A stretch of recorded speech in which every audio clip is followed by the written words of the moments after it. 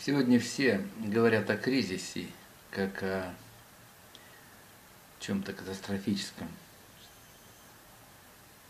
Ну, правильно. Но, в принципе, кризис – это свидетельство приходящих перемен в нашу жизнь. Кризис заставляет что-то менять в подходах.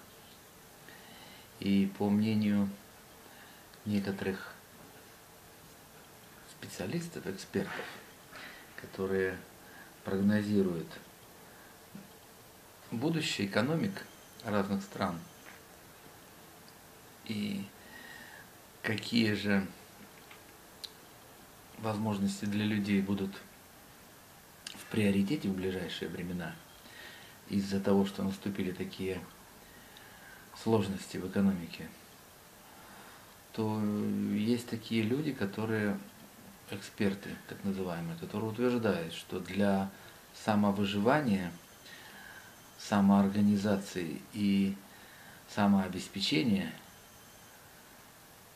наиболее всего подходит такой вид бизнеса, как MLM. Был бы только соблюден баланс. Что имеется в виду? Продукт нужен такой, который в этих тяжелых условиях способствовал бы выживанию людей. Ну, например, продукт, который позволяет что-либо экономить.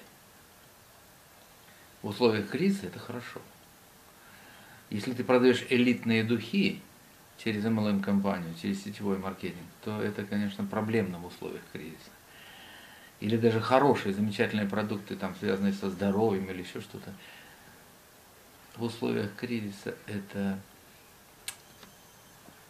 не в тему, как говорится, к сожалению.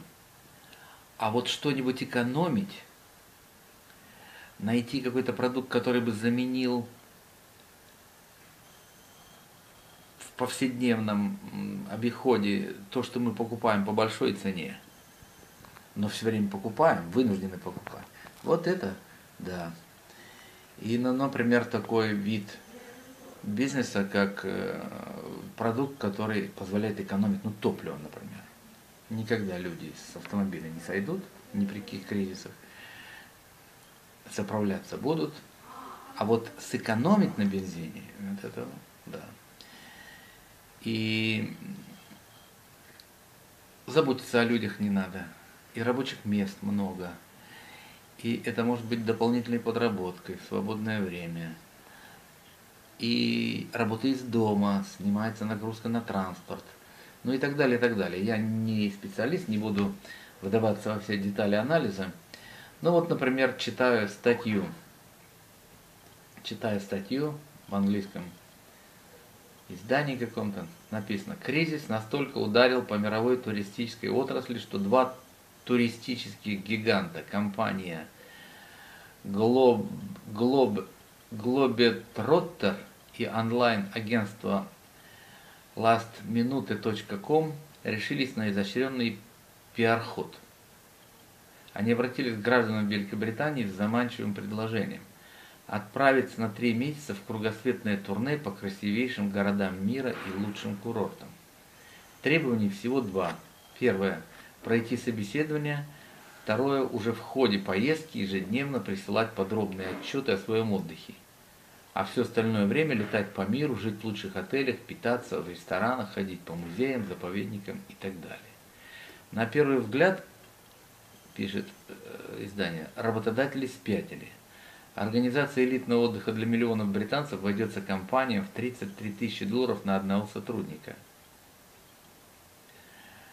Общие затраты кажутся просто грандиозными, но масштабная рекламная кампания всех этих курортов – равно как и серьезные маркетинговые исследования, обошлись бы гораздо дороже, как подсчитали специалисты.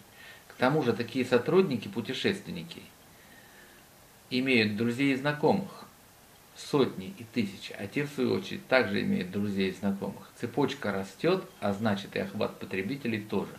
Бомбовый эффект такой пиар-компании обеспечен, написано. О чем это говорит? Это говорит, что принцип сетевого маркетинга – распространение через человека, через его близкие связи, через его личные эмоции, впечатления, через доверительную связь между близкими людьми сегодня в условиях кризиса становится наиболее оптимальным. Вот вам и доказательство того, что MLM бизнес имеет в усложняющихся условиях мировой экономики огромный, огромный потенциал, который скоро будет реализовываться по-настоящему, жить заставит. А во-вторых, принципы сетевого маркетинга, распространение информации от человека к человеку, а не через рекламу, которая сегодня очень дорогостоящая а и неэффективна, становится все более популярным.